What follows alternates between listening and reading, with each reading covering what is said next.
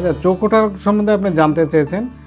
তো চৌকোটা কিন্তু একটা বিশেষ করে ভাইরাসজনিত কারণে হয় এবং এটা ভীষণ সংক্রামক রোগ। তো এটা ওই স্বাস্থ্যবিধি মেনে চলা এখানেও খুব জরুরি। চৌকোটা রোগ হলে সাধারণত চোখ লাল হয় আর যদি ব্যাকটেরিয়া ভাইরাল ইনফেকশান যেটা হয় সেটা খুবই ছোঁয়াচে যেমন স্কুলে একটা বাচ্চার হলে ওই ক্লাসে অনেকের একসাথে হয়ে যায় বাড়িতে একজনের হলে অনেকের একসাথে হয়ে যায়। আর এছাড়াও ভাইরাস ছাড়া ব্যাকটেরিয়া দিয়েও অনেক সময় চোখ ওঠা হয় এবং অন্যান্য কারণেও হয়।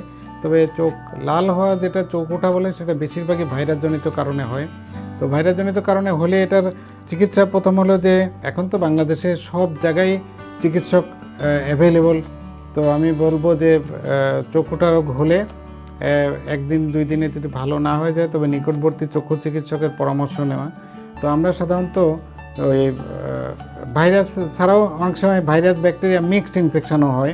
এক্ষেত্রে যদি ব্যাকটেরিয়াল ইনফেকশন হয়, সেখানে কিন্তু চোখের, চোখে যে ময়লা জমে, চোখে পানি পড়ে, চোখ একটু লাল হয়, এগুলো হয়। আর শুধু ভাইরাসের হলে চোখটা লাল হয় অনেক সময়।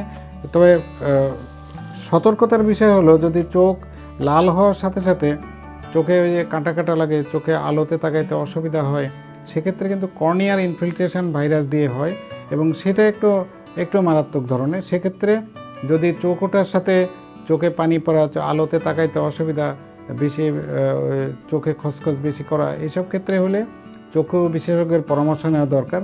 আর সাধারণত আমরা সাধারণ চক্ষু ওঠাতে আমরা সাধারণ অ্যান্টিবায়োটিক ড্রপ যেগুলো মক্সিফ্লক্সাসিন সিপ্রোফ্লক্সাসিন এইসব ড্রপগুলো আমরা ব্যবহার করি। এক ফোঁটা করে চারবার থেকে ছয়বার সাত দিন থেকে এক সপ্তাহ থেকে দুই সপ্তাহ। কিন্তু আমি সবাইকে বলব যে এই কোনো অবস্থাতেই নিজে নিজে চিকিৎসা করা ঠিক না।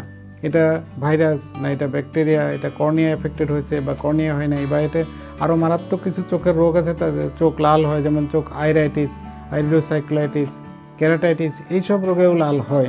সুতরাং এটা কিসের লাল না জেনে এগুলো ডাক্তার না দেখায় চিকিৎসা করা। আরেকটা জিনিস আমাদের দেশে বিশেষ করে মানুষ আমার ধারণা যে সহজীকরণের জন্যে একবার কোনো সময় হয়তো গত বছর ওনার চোখ লাল হয়েছিল। সেটা উনি চিকিৎসক নিয়েছেন, সেই প্রেসক্রিপশন ঘরে আছেন। অনেকে করে সেই প্রেসক্রিপশন দিয়েই আর চিকিৎসকের কাছে যায় না, এবার ওষুধ নিতে থাকে এবার ওই ওষুধের মধ্যে হয়তো মিক্সড আর একটা জিনিস আছে, একটা স্টিরয়েড মিক্স আছে অ্যান্টিবায়োটিকের সাথে। সেইটা আবার যখন দেয়, তখন এটা আরও মারাত্মক আকার ধারণ করে। সুতরাং পুরানো প্রেসক্রিপশন দিয়ে নতুন করে চিকিৎসকটা, ডাক- চিকিৎসকের পরামর্শ না নিয়ে সেই ঘরের পুরানো প্রেসক্রিপশন দিয়ে ওষুধ নেওয়া এটা কখনোই উচিত না।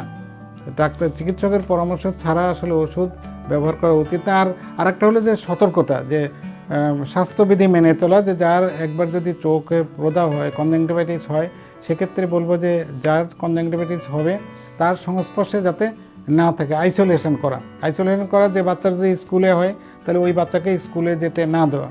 দুই হলো যে ওই বাচ্চার যে কাপড় চোপড় পার্সোনাল যে টাওয়েল, এগুলো আছে টাওয়েল রুম আগে তো রুমাল ছিল। তো এইসব জিনিসগুলো যাতে কমন ব্যবহার না করা বা কমন তার যার চোখ উঠছে, তার ব্যবহার্য কাপড় চোপড় তার সংস্পর্শে সরাসরি কেউ না যাওয়া যদি ছোটো বাচ্চাদের হয়, তো মা বাবার বিশেষ করে মা বাবার বিছানায়, মা বাবার বিছানায় হলে কিন্তু মা বাবার হওয়ার সম্ভাবনা থাকে। আর কাপড় চোপড়গুলো প্রতিদিনই প্রতিদিনই কাপড়, ব্যবহার্য কাপড় চোপড়গুলো ভালো করে ধুয়ে এবং রোদে শুকানো এটা ভালো। এটা আমি বলব যে একজনের হলে আর সবাই তার এক হলো সংস্পর্শে না যাওয়া, তার হলো চিকিৎসা করা, আর তারপরে তার ব্যবহার্য জিনিসপত্র থেকে টাওয়েল কাপড় চোপড় এগুলো অন্য কমন ইউজ না করা। তার বিছানার কাপড় চোপড়ও পারলে আলাদাভাবে ব্যবহার করা, যে কদিন না ওইটা সুস্থ হয়ে যায় পুরো। তবে এটা বেশিরভাগ ক্ষেত্রেই খুব মারাত্মক কিছু না। ভাইরাস ডিজিজগুলো তো আসলে সেলফ লিমিটিং কিন্তু ভাইরাসের কমপ্লিকেশন হলে এটার চিকিৎসা অতীব জরুরি। আর বিশেষ করে ব্যাকটেরিয়ালও যে কিছু কিছু ক্ষেত্রে এটা চিকিৎসাটা জরুরি না হলে কমপ্লিকেশান হয়। এই জন্যে আমার পরামর্শ হবে যে এখন তো সারা দেশেই চিকিৎসক অ্যাভেলেবল যদি চোখ লাল হয়, চোখে কনজাংটিভাইটিস হয়, সেক্ষেত্রে চিকিৎসকের পরামর্শ নিয়ে। আর এটা বেশিরভাগ ক্ষেত্রেই মারাত্মক না। সেক্ষেত্রে অ্যান্টিবায়োটিক্স ড্রপ এই এটা সেরে যায়। কিছুদিন ব্যবহারে এবং পার্সোনাল হাইজিন মেনটেন করলে এটা সেরে যায়। ধন্যবাদ সবাই